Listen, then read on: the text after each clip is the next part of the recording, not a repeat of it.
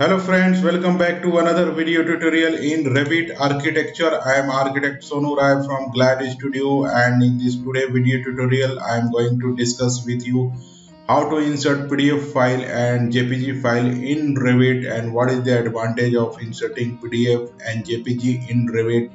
So I am going to my insert tab and if I am clicking here you can see there are two two terms. One is link pdf and next one is import pdf and another one is link image and import image. So what is the difference? So difference is similar like my last video tutorial i told you about how to link cad file and import CAD and what is the advantage of linking CAD file. So if you are linking CAD file and you, are working simultaneously with uh, CAD and Revit project and if you are making any changes in CAD file that uh, file changes will be applied simultaneously in Revit also by going to manage here manage and you can select this manage link here so that changes you can do with the help of manage link so similarly if you are going to insert your uh, PDF by import PDF and link PDF and if you are working in PDF file and you are making any changes in that PDF file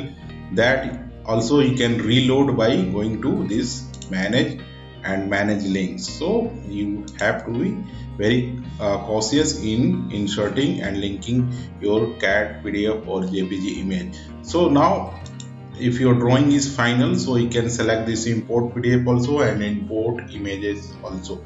So i'm going to show you uh, how to import pdf first. So i'm going to select this import pdf and now i'm going to my folder where i have saved my pdf file. And now i am going to select this pdf file and one of the project i am selecting this ground floor option one and I'm clicking this and this is ground floor option 1 dot PDF and this file of type is portable document format PDF so I'm clicking open and now this window will appear here import PDF and the file name is here. Page uh, number of pages is 1 so, and this one is toggles between small or large thumbnail previews.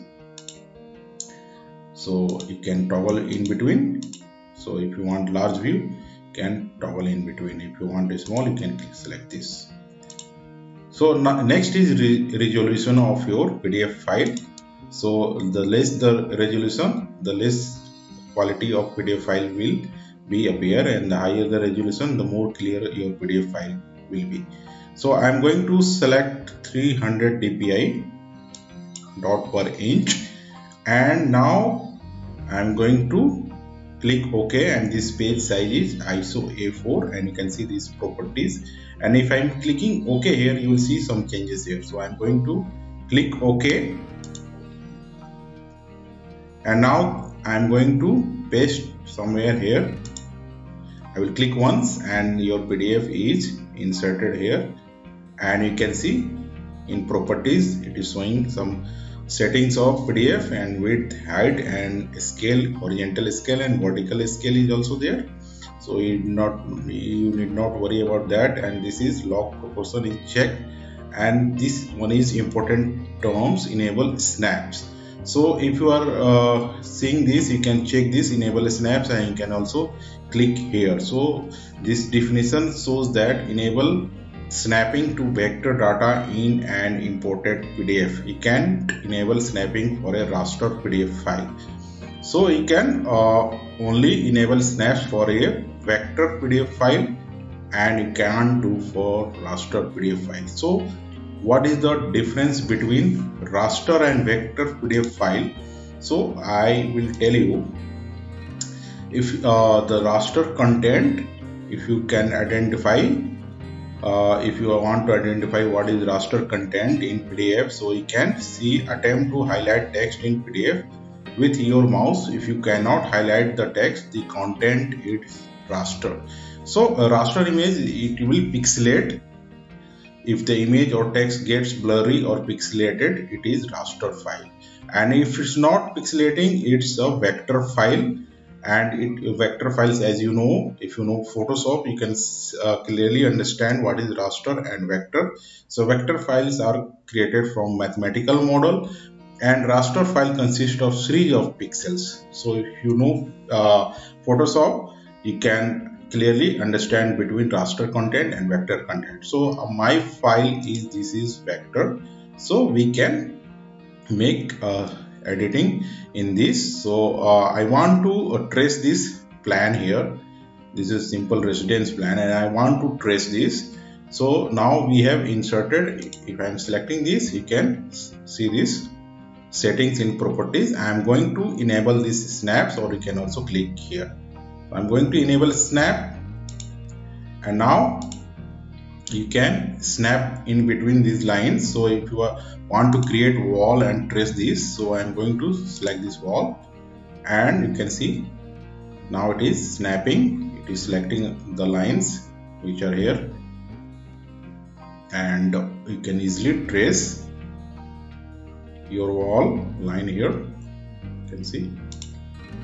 So uh, if I am selecting here this line you can see this is snapping in between. You can see these lines is snapping here. So this is vector file. So we can easily trace this.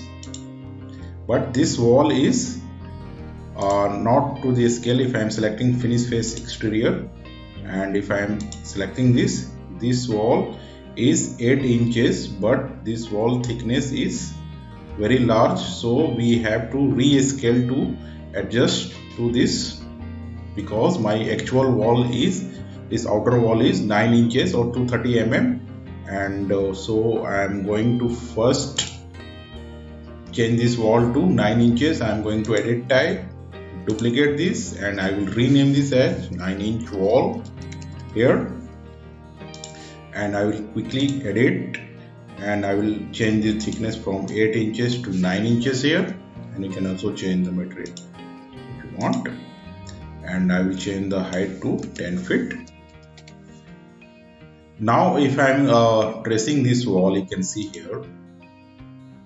This is lesser than the actual thickness of this PDF file is more. So I want to make this to 9 inches. If I'm taking the measurement of these two wall sides of wall it is 1 feet 1 inches and some fraction is there. So I am going to rescale to 9 inches. So I will first select this PDF file here. And now I will select this one a scale. And now I will use this graphical method. I will click once here. And next one is here. And I will reduce. And I will type the value 9 inch and hit enter. So now our PDF file is rescale this wall width that is 9 inches. Can cross check this. And this is 9 inch.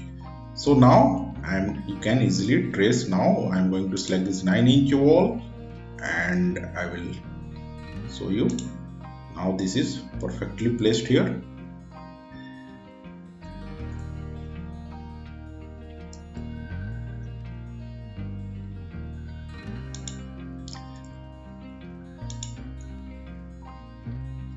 can trace column also. Likewise you can work in if you want to uh, make a 3d of this from pdf file you can make.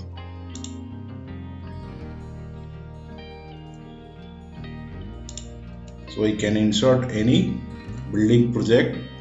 So in Revit it's a, since it's a BIM software you can work on electrical also you can work in plumbing also you can insert multiple PDF files. If you are working on large projects so this inserting PDF is very handy. And if you go to your 3D view here you will not see your PDF file. You can only see your uh, modeling here and you can work on your modeling. So this is the advantage of using PDF in Revit. So always you have to enable snaps here for tracing so uh, now I will show you how we can insert your JPG file and I will cancel this. And now I am going to create a new file here. Architecture template okay. And now I will go to insert and now I will show you import image here. And now I will go to my download folders here. And I, I have saved here one jpg file. That is also of residence. You can simply insert. And you can work on your 3d projects by inserting this plan. And you can select this. And you can take the measurement here so this outer wall is 1 foot 3 inches and actual thickness is 9 inches. So like pdf file you can rescale this. And you can also see this some settings here. And you can rescale like pdf. Also I will tell you one difference. If I am bringing my mouse to this link PDF you can see inserts a link to a PDF into a model V view and you can only link PDFs in 2D views. You cannot link a PDF in 3D view. So you should make sure that you should import only 2D file. So uh, you cannot uh, insert a 3D view here. And same applies here. You cannot import insert 3d view. And same applies for this image also and you can only link images into 2d so you should be aware of this. So i think this tutorial will be very helpful for you. So thanks for watching. Please like share and subscribe my channel. In the next video tutorial i will come with some more interesting topic topic in revit. So thanks for watching. Bye bye